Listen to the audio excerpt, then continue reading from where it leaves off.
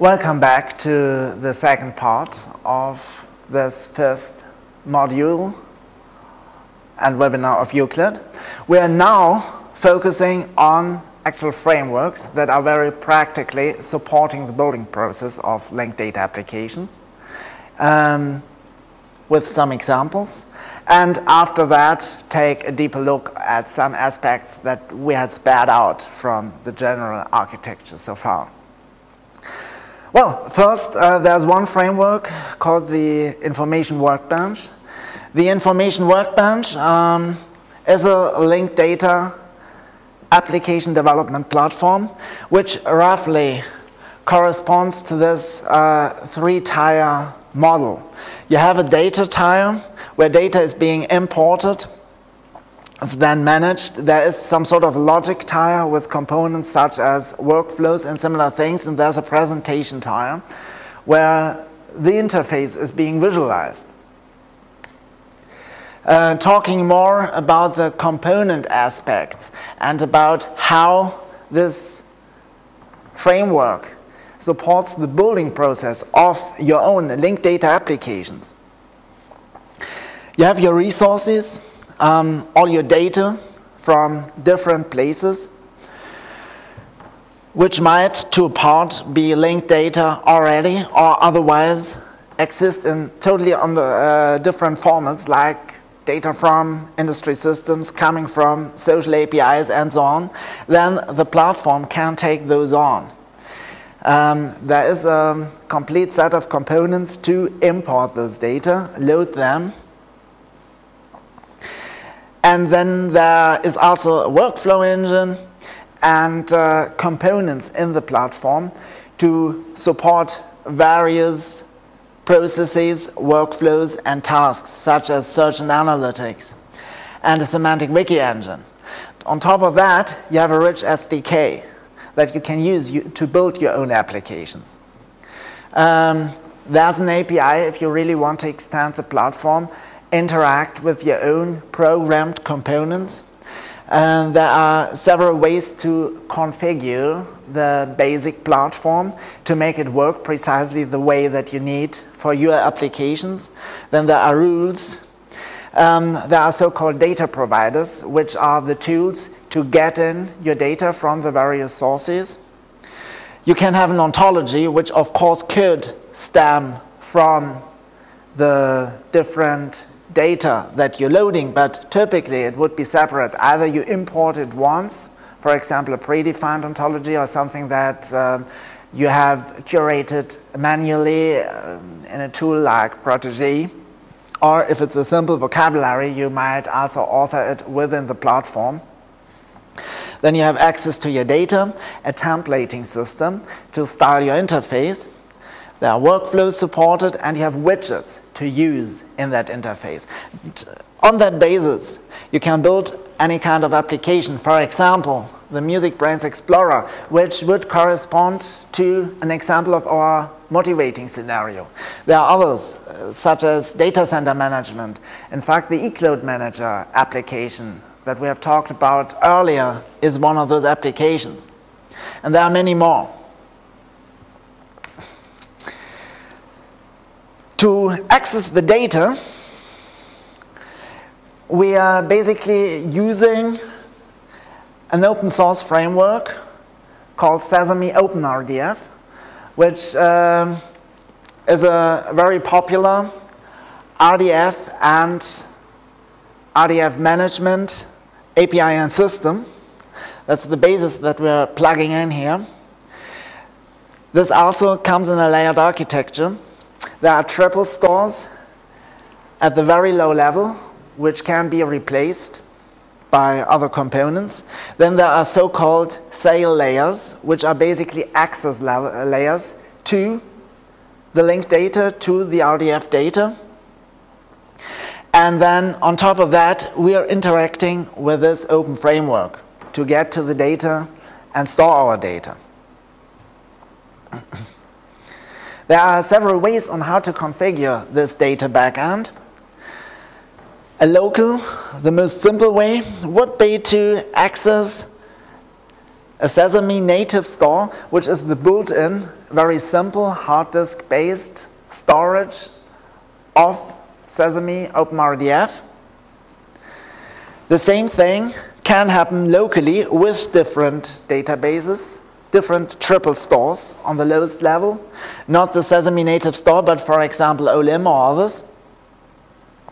Then another um, possibility to set this whole thing up is in a more clearly separated way, separating the tiers in an architectural, clearer fashion by using so-called remote repositories. Now, a repository, basically, whether local or remote, basically is the component that provides the database. A remote repository would be a database running in a separate process on the same machine or some other server, while a local repository is a database process started within the information workbench process, just running as a uh, separate thread, for example. The remote repository, we have a separate database running, which can be used by the information workbench and possibly also other applications on the same server or some other server. Then again, you have any of those options of using the native store or some other um, triple store and can still access all of that. And then there's a third option, though this is less often used, um, where you don't use a triple store at all, but directly run the information workbench against some SPARQL endpoint, which can provide all of the data. To integrate data, there is a set of data providers. Data providers come in a certain assortment. With the platform, you can also write your own providers. And data providers access data in some way from somewhere, load them into the database, cache them, store them into the database. So the information workbench is basically implementing the crawler pattern in a manner of speaking caching or locally storing all of the information. Data providers run either once or, more typically, in a periodical way. So you configure how often the data should be updated from the original sources. There are different providers to access different kind of data. For example, you can have a SPARQL provider which queries some remote SPARQL endpoint with a construct query to get all of their data or some of their data. You can have an RDF provider accessing RDF dumps or some other RDF interfaces to directly download um, a series of triples. Then there's uh, a host of other uh, providers such as XML to RDF conversion, such as virtualized R2 RML access, which means to access relational databases through a relational to semantic mapping are also uh, one of the most general purpose providers, a Groovy script provider, you simply write some script using the libraries and APIs in the backend to transform any data that you can read out somewhere on the web with your script and push it into the database through the provider mechanism. What this is doing is implementing a crawling pattern or more generally speaking, storing the data in a warehousing approach. Data warehousing is what you also have on a non-semantic level when you uh, simply take on data from different sources, typically within one company in the classical case, and integrate them into one big database to run analytical queries over the combined data set. To that end, data is typically copied over, rearranged in a way so that a huge mass of data can be queried on. And um, therefore, it's only periodically being loaded. With a crawling pattern, that we have here for the information workbench, that's nothing different just for linked data from different sources that we integrate, that we transform, that we rearrange in such a way that they can be used with one application asking queries against all of the data set. But there's an alternative to that other than this warehousing pattern with the data providers that update the data periodically. You can also run a federation.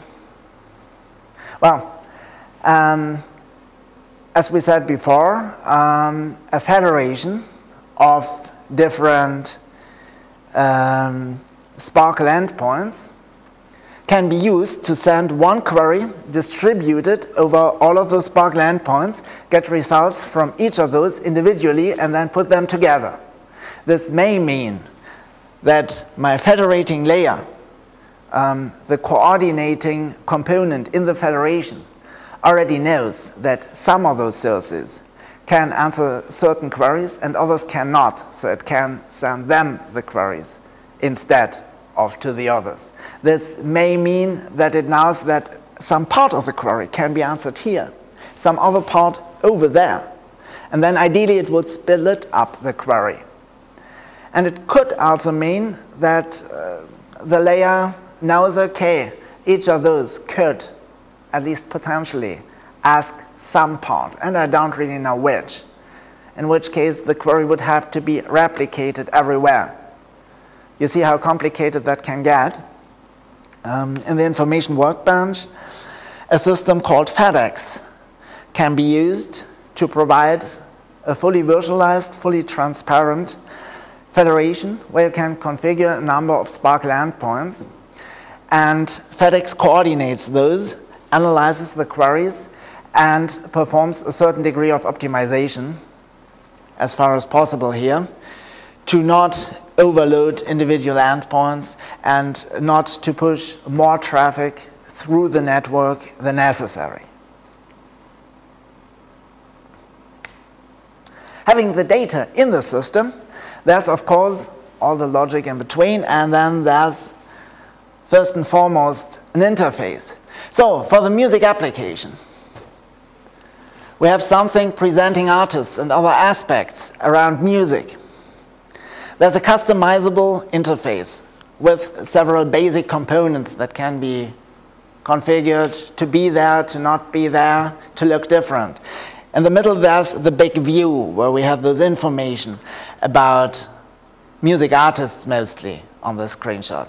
Then on the left-hand side, um, there's a tabbed menu to choose between different views of that. As you see a title on top here, some basic functionality in the upper right corner. Right here, the view is a wiki view. And uh, as a wiki can typically be viewed, edited, and can have several revisions, you also have those small tabs also to the right, relatively on the top, to switch between those different views on the wiki. The concept behind that whole thing is to have one view, one page for each resource. We have URIs, those are the data. Each URI, each resource, is associated with its own distinct page. For example, one for the Beatles, uh, one for Rihanna, and so on. Then there can be that ontology. And this makes it possible to run the platform in a data-driven way. Each of the instances, Beatles and Rihanna again, have their own pages. But they also have their types, which is something associated through the ontology. And their types can have templates, as you can see on the upper right side here. So you would write one template for the class of music artists that structurally describes on how all the wiki pages of each of the music artists would look like structurally, unless you override them. And you do the same for all of the other kinds of classes that are relevant to you. And then all of the individual pages, as soon as data exists in the database, as soon as we know that um, the resource Beatles is associated with a music artist. That template is being drawn and the page can be rendered. There are different views, however, not only the wiki, which often is the typical end-user view. But you can also have a table view, which is rendering all of the information associated with that resource in a structured way. So you see all of the properties, all of the predicates, and all of their values in an expandable, flexible view to browse and possibly navigate to other related aspects that might not or not um, explicitly be visible on the wiki because that's more end-user tailored. Then you can have something as a graph view, rendering the structural neighborhood, the semantic neighborhood of the resource that you're currently viewing in a graphical way. Or things like a pivot view, which allows to statistically display some of the related content, how many of which are there. In general, the interface is widget-based, and um, widgets are also provided by the platform in a rich assortment and can be extended through the API. You can add your own widgets with your application. But uh, there are things like, for example, a map widget that allows to display locations. If there are locations associated with your content. Say a music artist might have a place of origin, which you may want to display like this. Then there can be analytics and reporting. That's something you would typically display on an overview page, such as uh, a class, where you might report on all of the individuals on that type, for example. Uh, you can integrate external content through mashups, uh, for example, from social media, associated Twitter streams, or things like that. And there are widgets to create content, to produce new linked data, or manipulate it. All of the widgets can be controlled through configuration within the wiki, which is um, semantic media wiki um, syntax with SPARQL queries in there. You simply have parameters to the widgets. The most important parameter typically is a SPARQL query. SPARQL, as we know, is uh, a standard way to access linked data. And uh, with that query, all the results are being flexibly retrieved from the data that are needed to render a certain component. In this case, uh, we're rendering a bar chart on releases.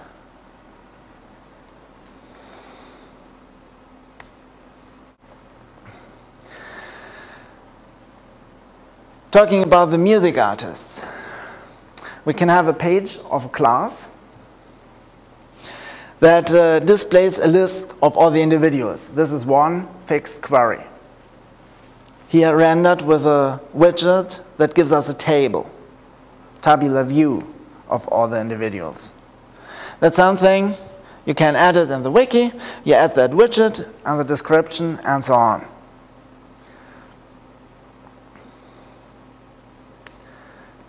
Instances, for example, then are driven by a template, not by a concrete configuration in the wiki, like that overview page, which only existed once.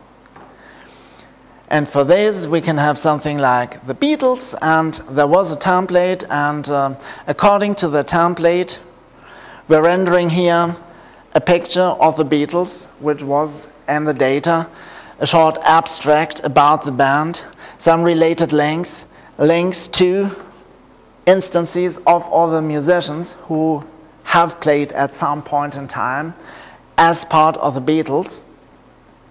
And also a location where the band was based and uh, as a mashup component from the web, a set of tweets around uh, the official uh, channel of the Beatles, which is still managed by, I guess, the, the record company. And to add uh, external content, well, um, that's simple enough as well. You have a particular widget, say a YouTube widget, by which you simply say, okay, here it's not a SPARQL query at first, but I want to send something to YouTube, which gives me the right videos, which would be a keyword search. And to say which keywords should be searched for, you can, again, use a SPARQL query to query relevant associated aspects, say the name of the current resource, and then the name of the current resource, which of course would be the Beatles, would be sent to YouTube, and in return you get whatever video they first present you. To additionally also modify, change, add content, there are different other widgets available. There's the triple editor, for example. This is um, implemented on top of that structural table view, where you can structurally view all the related triples of a resource.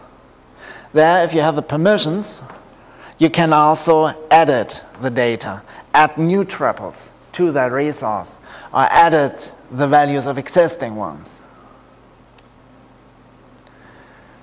This is guided by the ontology. So if you do have an appropriate vocabulary, you will get suggestions which new properties you could add because the ontology says there may be relations here. There may be appropriate, uh, it may be appropriate to add such triples also based on either the ontology or a more manually placed configuration. Um, data can be validated.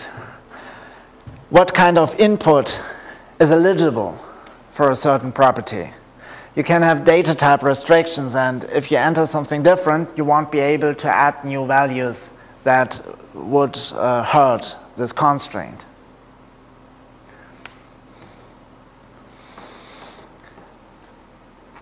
There is more information available on the information workbench online and especially also on a demo system about our motivating scenario of that music linked data platform, which is available at musicbrainz.fluidops.net.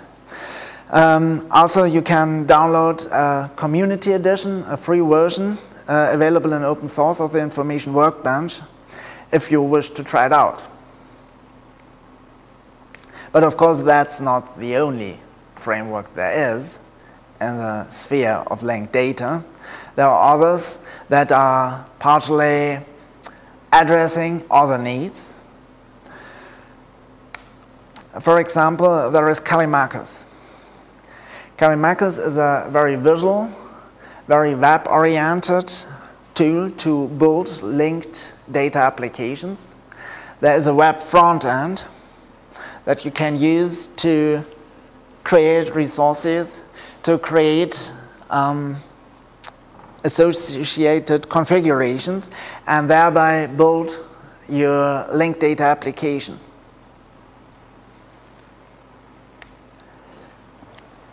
There's the linked media framework, abbreviated as LMF, from the Apache Foundation, consisting of several components that partially have very intriguing capabilities. For example, there's Apache Marmotta, uh, which uh, is a linked data platform on its own.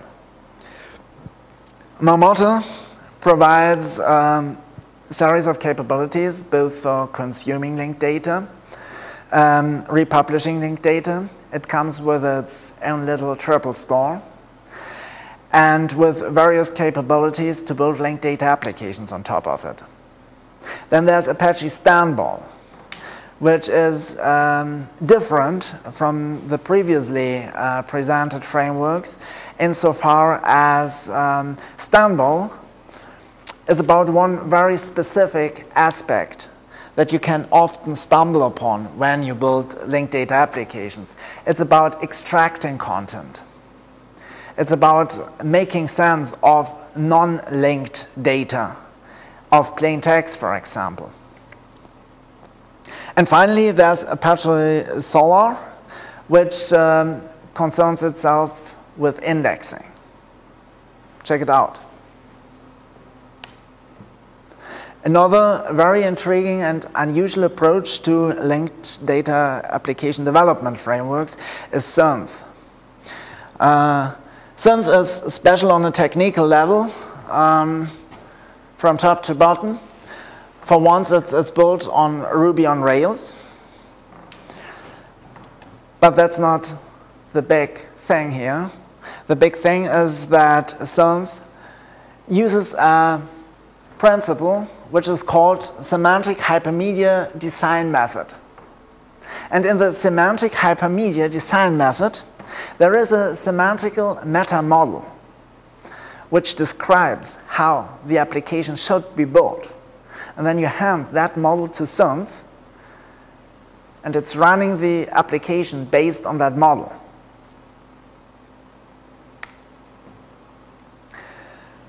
Linked data application frameworks will usually help you to build your applications in much less time than you would take to, to build it uh, from scratch yourself. And within those, um, you, you, you can use a good knowledge of the architectural patterns that we had discussed before, but um, there's one big topic open that we haven't talked about so far, and that's especially if your linked data applications is operating on the web. You might need to use web APIs or provide web APIs. And um, all web APIs rely fundamentally on internet technology, web technology, in particular on HTTP, the Hypertext Transport Protocol. Simply put, it's a client-server request-response protocol where a client sends a request to a server which reacts with a response. There are different types of requests in HTTP. The most popular ones that you have maybe heard of would be GET and POST. You send a GET request to retrieve the content behind a certain resource, a web page, for example. You send a POST, third on the list, to submit certain data on the regular web, that's typically form data. You enter your credentials into a form and post it to the server to send it there. There are other methods that are also important, in particular if we are not thinking about mere web browsers, but about other ways, API ways to use HTTP. There's put, for example. Put uploads data to the server. It should put them on the server for the server to keep it there. Then there's delete, or the way around. There are more such operations like head, which uh, is a what would be if kind of request. So you're sending a request uh, to just retrieve uh, some header information of what you would get if you were really asking. Um, more others exist like that. So, and besides for the method, you uh, send the server a URI, a resource identifier, to say where you want to do that, what you want to get, or where you want to put to, and so on, and a header, which gives a little more specification on what you want to do there. And then optionally, some body part may follow. For example, if you post something, it's not enough to say, I'm posting to this URI. Of course, you also need to add what exactly it is you want to post there. In response, you'll first get a code, which is um, an identifier telling you how well it worked, basically. There, there are a few you'll know from web browsers. The 4 and 5-ish probably. There's the 404, page not found. There's the 500 internal server error. You've seen those probably. One to three are less often seen on the web. That's because those codes starting with one are provisional. They're, they're just intermediate messages from the server to the client. Hey, stick with me. I'm going to send something soon. That kind of stuff. The two something messages are just confirming that something worked successfully. So basically, whenever you're navigating your web browser to any web page and it's loading, that implies usually a 200. Okay. Here's the stuff, but you're not seeing the 200, but instead the web page, of course. And now it's getting interesting. There are the three codes, three something, 300 something. And those indicate that this might work, but not like this. Further action is needed. We'll talk about that in more detail just after. So the 400, I gave you that example, page not found, for example. Um, that means that you have sent a request that the server cannot and will never answer, not like that, because it's simply wrong in terms of what the server is offering. While the 500 codes uh, indicate that the server messed up that something didn't work there. It should have worked, but it didn't. Okay, so let's play with that. HTTP request, a client submits it, let's say to Wikipedia, and the client says, HTTP GET, it should add a version there, HTTP, I'm, I'm speaking HTTP and the following version dialect, and uh, now get me the following URI. And the server answers, well, okay, that works, 200, here's the page.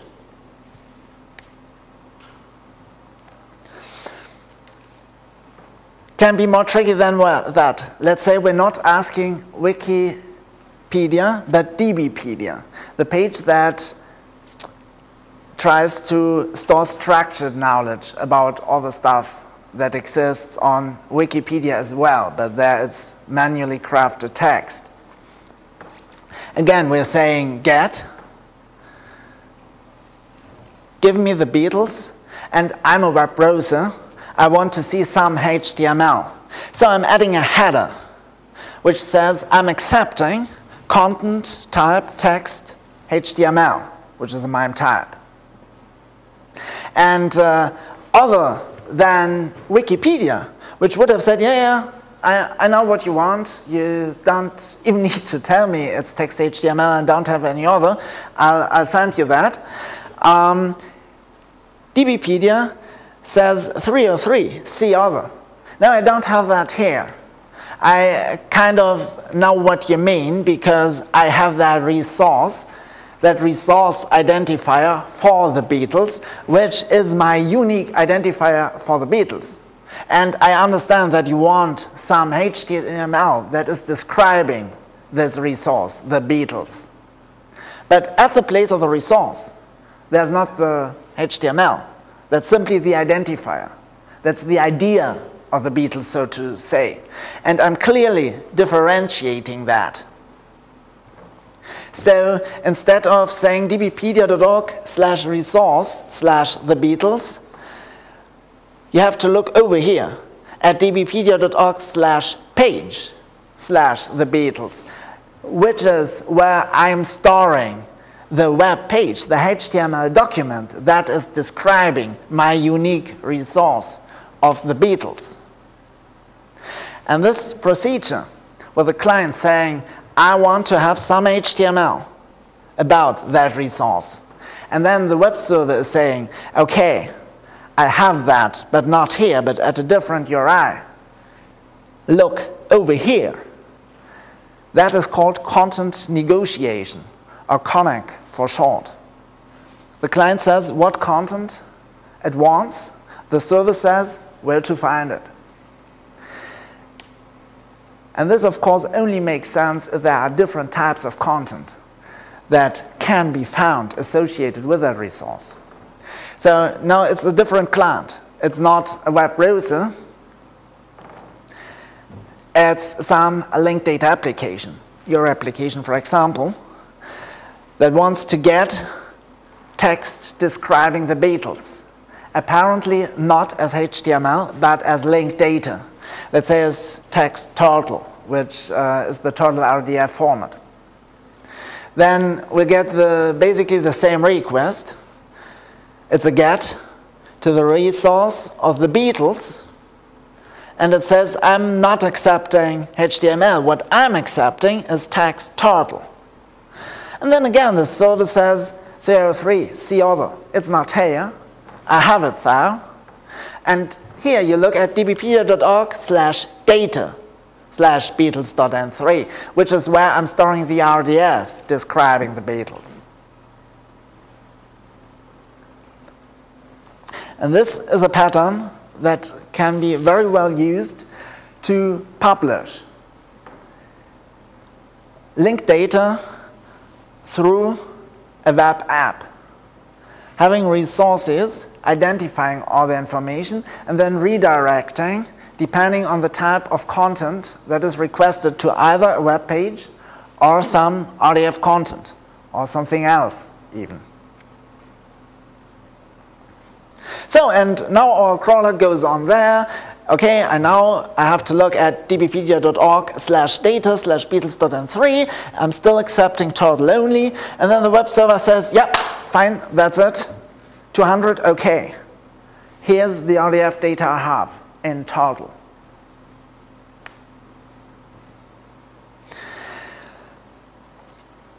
Well, web APIs. That was the foundation. That's how you could simply make RDF accessible. But how does this make an API? It does to a certain part already.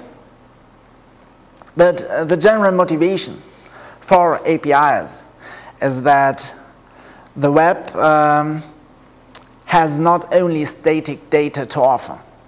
If there are only things like the Beatles, resources whose description might change occasionally, but not too much, and it's still always the same resource. But there's also dynamic data. There is a lot of data that is being created spontaneously as a reaction, for example, of a user request.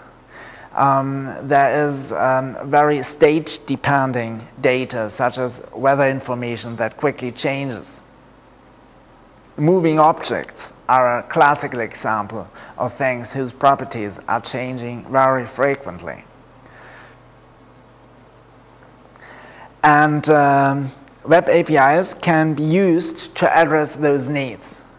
You can have things like web APIs or services, web services, uh, with service endpoints, which are URIs basically, that answer such requests.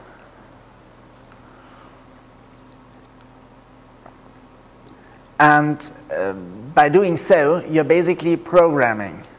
You're basically sending requests that are answered in a direct reaction of your very specific request. There's a large number of web APIs accessible in general. They are not primarily linked data web APIs, but web APIs. And uh, the, the most important, most popular type of web APIs that uh, can be found out there are REST APIs, which uh, stands for representational, uh, I'm sorry, I tried to be a little less tongue twisted, um, representational state transfer.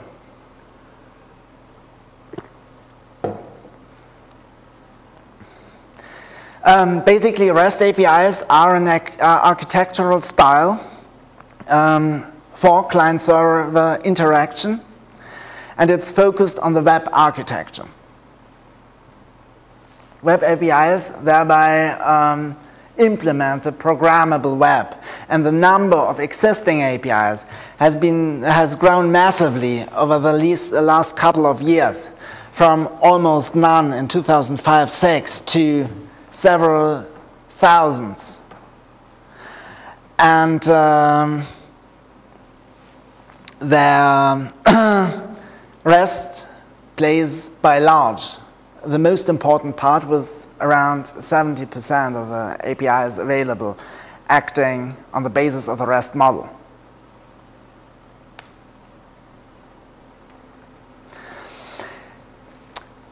The is one uh, criterion to describe um, the quality of REST APIs. There are several others. This is one, uh, which is called the Richardson Maturity Model for REST services. And it has three levels. Resources in URIs, then HTTP verbs, HTTP um, terms, basically, keywords. You could say it's called HTTP verbs. And then uh, a third level, which goes uh, by an unspeakable acronym and uh, is called the hypermedia constraint. On the first level, URIs, you're just saying we talk about resources. Our web API offers URIs that associate resources. We don't talk about endpoints that can encode any number of different, semantically different aspects that can provide any number of answers to any number of unrelated things, but we're talking about resources that are clearly identifying things. So for example, you would have uh, a resource uh, to access the Beatles for um, your request through Web API. Then on the second level, you don't only have resources, but you address them using HTTP verbs, which are those types of requests from get over post to put, delete, Options would be another example where options uh, simply gives you the list of other verbs that can be appropriately applied here. And uh, then on the other side, uh, the server would respond with the HTTP response codes. So what does this give us? First of all, some standardization, something I now I can expect as a client and something I know I can reasonably implement as a server. But it's also giving us some additional semantics on those verbs because they are defined with HTTP. Um, there is a safeness characteristic. Safeness guarantees um, that the operation will never change the resource addressed on the server. Get is such an example. A get operation should retrieve something, it should never modify the resource addressed. Then there's a property called idempotency. So this is not exactly according to the uh, more general definition of idempotency.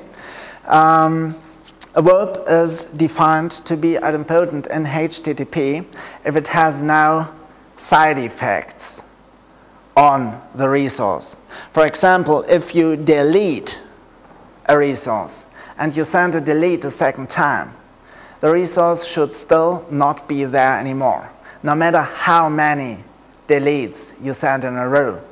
However, the response sent by the server is different. The first time when it works out, you get a different response than the next time when it wasn't there in the first place. So response may change and we still call it idempotent, but the side effects must be the same. And uh, well, there are several verbs like delete that should guarantee that. And uh, by knowing all of those guarantees, you can now what to expect when you send a certain type of request to a web API add some resource. Then at the third level, the hypermedia constraint, um, which um, has that acronym which is spelled out as hypermedia as the engine of application state. That's a principle where we say um, we'll use different resources to still, though resources have static URIs in a way, uh, to still move an application through a series of different dynamic states. This uh, corresponds in a certain way to things like um, yeah, an automaton. So, for example, a client can send an order, an order of a music album to a web API. Web API is here at HTTP and so on, service.org, some service, slash music, slash order. That's apparently where orders should go. Then the client sends an order which says, here, this is an album, and uh, this, this has some um, universal ID associated with that, a code, and I want to order that. Then the API would say, okay, I'm, I'm creating you that order, which is a new resource. So it says I've created that resource, and it's this order number 001, which is a order. And it's about uh, this album that you want to have. I'm also telling you the price. And not only I'm telling you the price, but I'm also saying, okay, this is, this is in a transitional state of awaiting payment. This order isn't completed yet. I want ship. Um, and even less, you have already received it. Um, but here, I'm also telling you where you could pay at this other resource that I also have created for the purpose. Simply go to 001 subscore pay to submit your payment details. And then the client can do that, submits some more details to that other new resource,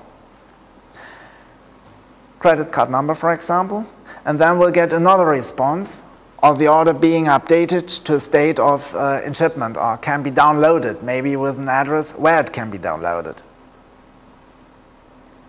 And except for such um, APIs that can be built to um, especially work with linked data, there are a series of other APIs available, many, many other APIs available that we still may want to use.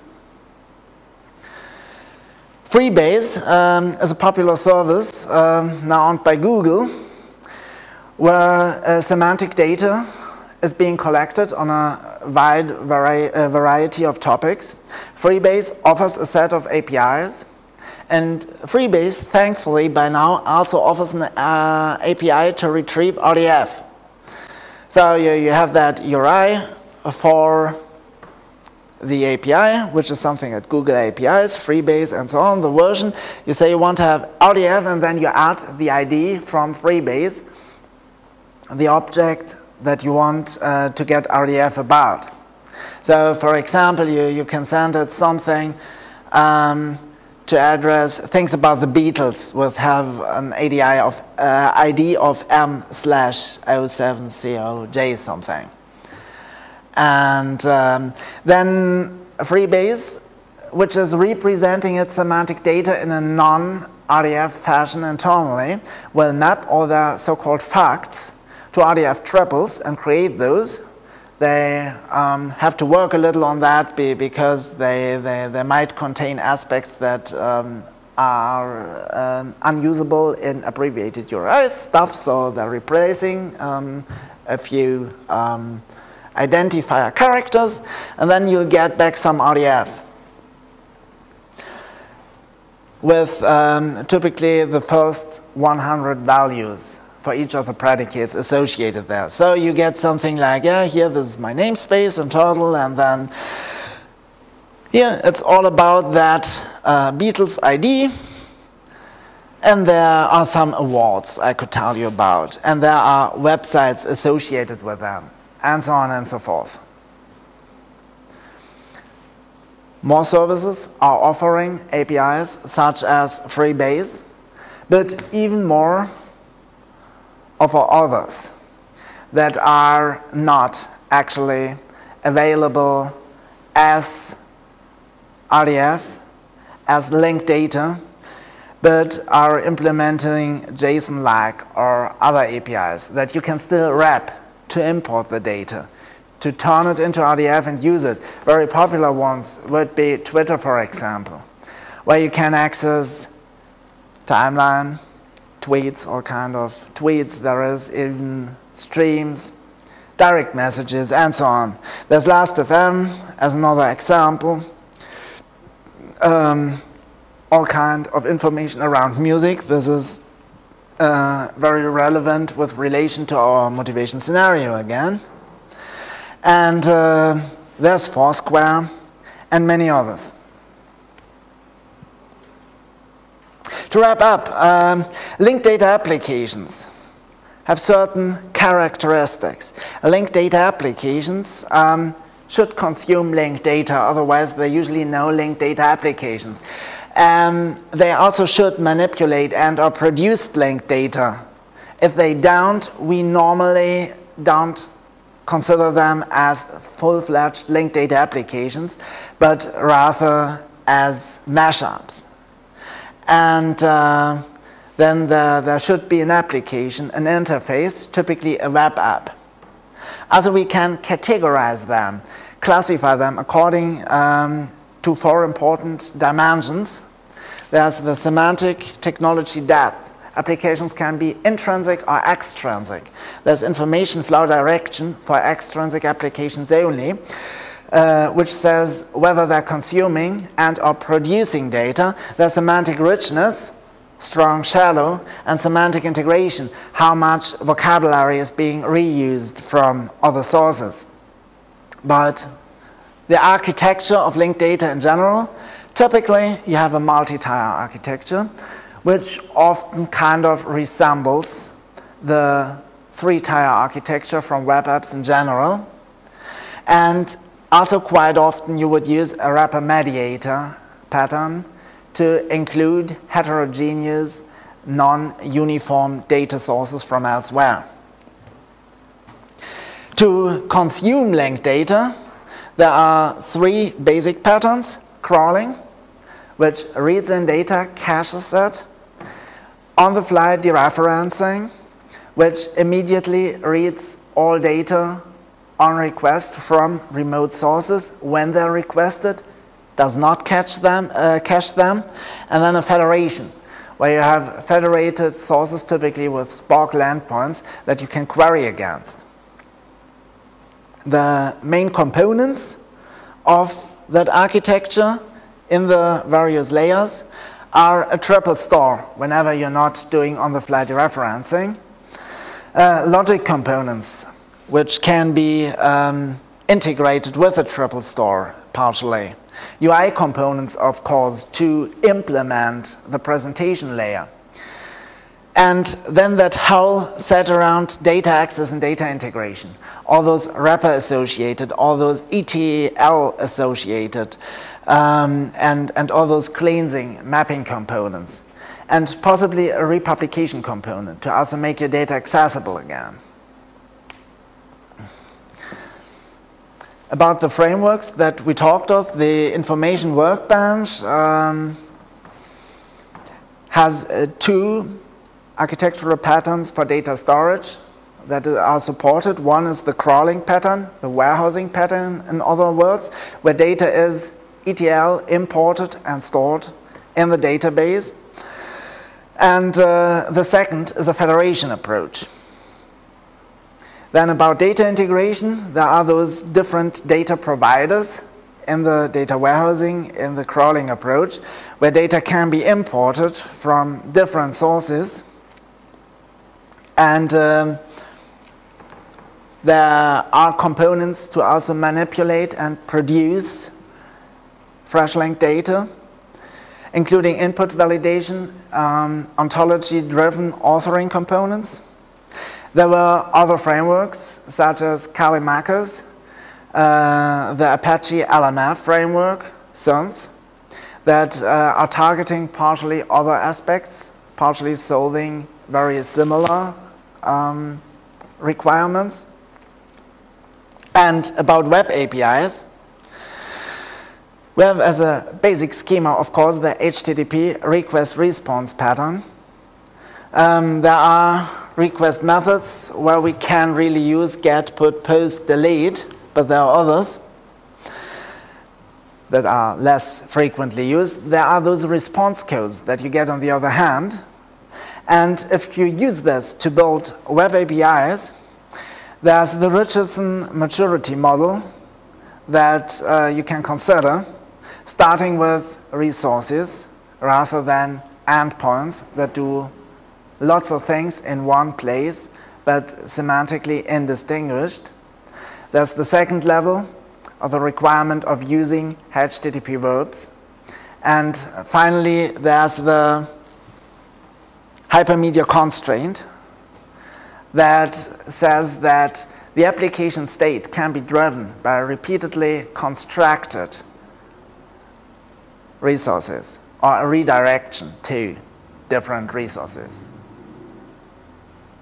Thank you.